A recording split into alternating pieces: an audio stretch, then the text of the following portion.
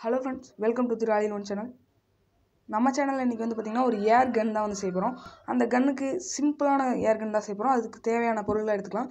இது வந்து பார்த்திங்கன்னா ஒரு பைப்பு இந்த கட்டப்பையிலாம் இருக்கும் இல்லையா? அந்த பைப் தான் எந்த ஒரு ஹோலும் இல்லாத மாதிரி எடுத்துக்கோங்க.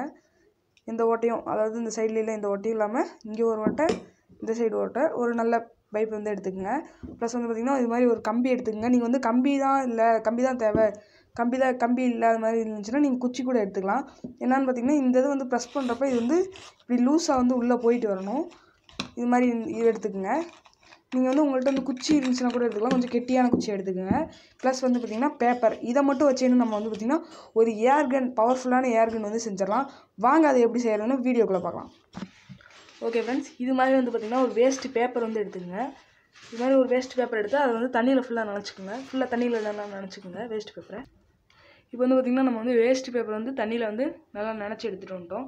இப்போ இந்த இதில் வேஸ்ட் பேப்பரில் கொஞ்சம் மட்டும் எடுத்து நீங்கள் வந்து பார்த்திங்கன்னா ஒரு சைடு ஒரு சைடு இருக்க ஹோலில் நல்லா காற்று போகாத அளவுக்கு வந்து டைட்டாக அடைச்சிக்குங்க.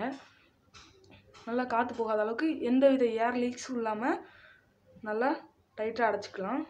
அடைச்சிட்டு என்ன பண்ணுறீங்கன்னு பார்த்தீங்கன்னா மேலே இருக்க இந்த ஓட்டை வழியாக அதை வந்து நல்லா டைட் பண்ணிக்கோங்க. டைட் பண்ணிட்டு நம்மளுக்கு இன்னும் கொஞ்சம் தண்ணியில் நினச்சி வச்சிருக்க பேப்பர் இருக்கு இல்லையா? அதை எடுத்து நீங்கள் இன்னொரு ஹோல் வழியாக விட்டு நல்லா ஏர் போகாத அளவுக்கு நல்லா டைட் பண்ணிக்கோங்க. ஓகே ஃப்ரெண்ட்ஸ் டைட் பண்ணியாச்சு.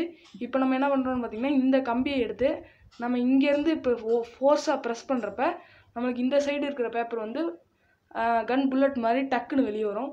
இந்த மாதிரி தான் நம்ம சிம்பிள் மெத்தடில் தான் ஏர்கன் செஞ்சுருக்கோம். வாங்க இது எப்படி ஒர்க் ஆகுதுன்னு பார்க்கலாம். ஓகே ஃப்ரெண்ட்ஸ் நம்ம செஞ்ச ஏர்கன் வந்து இப்போ ரெடியாக இருக்குது நம்ம இதை வந்து டெஸ்ட் பண்ணி பார்க்கலாம். நம்ம வந்து அந்த செவத்தில் தான் வந்து அடிப்போம் இந்த பேப்பர் வச்சுருக்கோம் இல்லையா? இந்த இடத்துல வந்து நம்ம வந்து வச்சுட்டு ஃபோர்ஸாக ப்ரெஸ் பண்ணுவோம். பார்த்தீங்களா ஃப்ரெண்ட்ஸ் நம்ம ஏர்கன் வந்து சூப்பராகவே ஒர்க் ஆகுது. இந்த வீடியோ உங்களுக்கு பிடிச்சிருந்துச்சுன்னா லைக் பண்ணுங்கள்